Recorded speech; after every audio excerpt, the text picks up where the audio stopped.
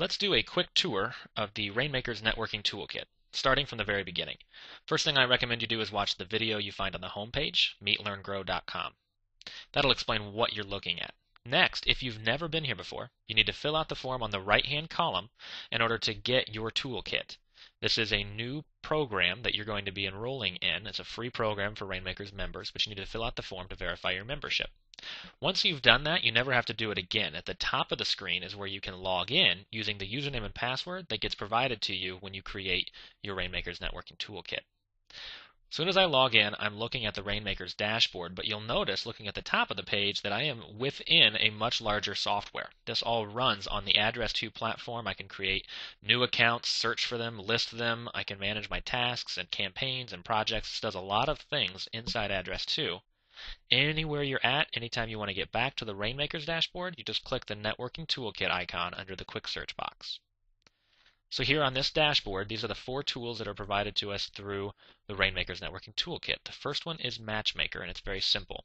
You just click Create a New Profile, you answer some questions about who you need to meet, and we can start matching you with other members. The next one is Hub Driver. I'm going to click on the action board for the main event, which is a board that I serve on. And now I can see all my fellow board members. Because I am a member of this action board, I can click Email All Members, uh, and it will bring up an email to all the members. I can also invite friends. Now, anybody can invite friends to any event. What this opens is a new box where I'm now searching through my contacts.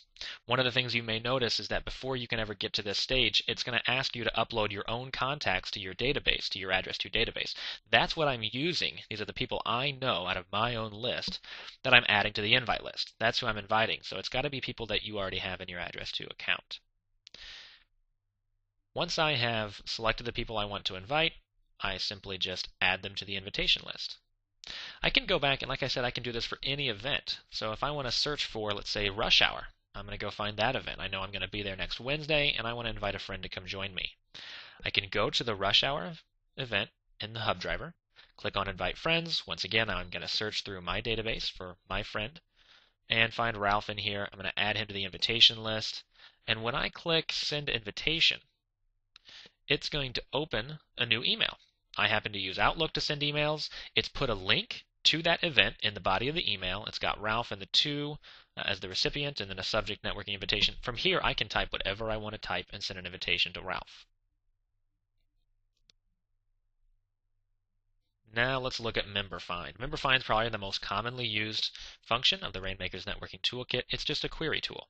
I can search the Rainmakers member database for people based on different criteria. So I'm going to say first name, and then I can change my operator. So I'm going to go to contains uh, and just put in RALP because uh, maybe I'm not sure how Ralph is spelled or I just want to put in a part of it. I can then go and pick a different field. I'm going to click on more detail and add another field that I'm going to search by. So I'm going to get more and more specific to narrow down my results.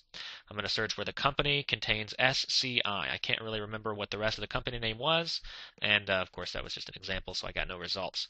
Um, I can now use the uh, industry search to look people up in the database.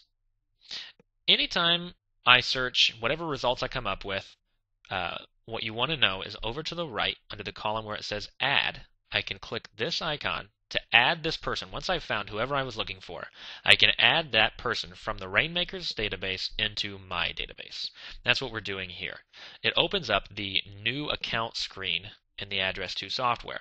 Scrolling to the very bottom, I can save this as a new account in my database, my personal contact list of people I know and want to stay in touch with. Once I've done that, I now own this contact. They've been added to my database. I can take notes on what I've talked to them about. So I can scroll down and see the history of all of our interaction. I can search for them. I can find them. I could uh, take notes here, so uh, take notes on a conversation and add it to the history. I can even schedule a follow-up task as AddressTwo supports. This is adding this contact to my database. Finally, now that I'm out in uh, the AddressTwo software doing other functions, if I want to get back to the dashboard, I click on the Rainmakers Networking Toolkit icon. The last thing to show you is there is a tutorial video on all the AddressTwo features in the lower right hand corner. I encourage you to watch it and learn what you can do.